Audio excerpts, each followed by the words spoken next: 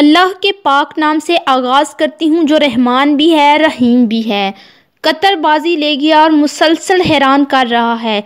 खेलों की दुनिया के सबसे बड़े इवेंट को दावत इस्लाम का ज़रिया बना दिया।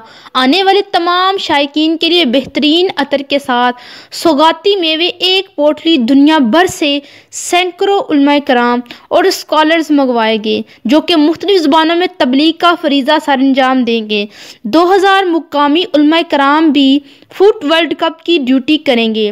मुल्क भर की मसाजिद के मुअज़न तब्दील करके दिलकश आवाज़ों वाले मुअज़न मुकर कर दिए गए हैं। तमाम मसाजिद को इस्लामी म्यूज़ियम के तौर पर पेश किया जाएगा, जहाँ किसी भी वक्त कोई आकर मालूम ले सकेगा। मुल्क भर में कुरानी आयात, अहदीस और तारीख इस्लामी को नुमाया करके फ्लैक्स और बिलबोर्ड्स लगाए गए हैं। कुरान मजीद के तराजों मुख्तलिफ़ ज़बानों में किए जा रहे हैं। इस्लामी तारीख की कुतब बांटी जा रही हैं। हर स्टेडियम में नमाज़ की नमाया जगह है और पहले दिन एक पोटली दी गई, जिसकी तस्वीर सोशल मीडिया पर वायरल हुई, जिसमें आने वाले तमाम शायकीन ने उस पोटली को अपनी अपनी कुर्सियों पर रखा।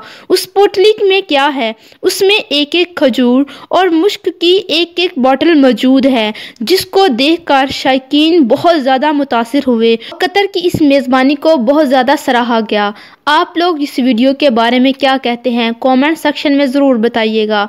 और मज़ीद इंटरेस्टिंग वीडियोस के लिए चैनल को सब्सक्राइब करना हरगिज़ मत भूलिएगा।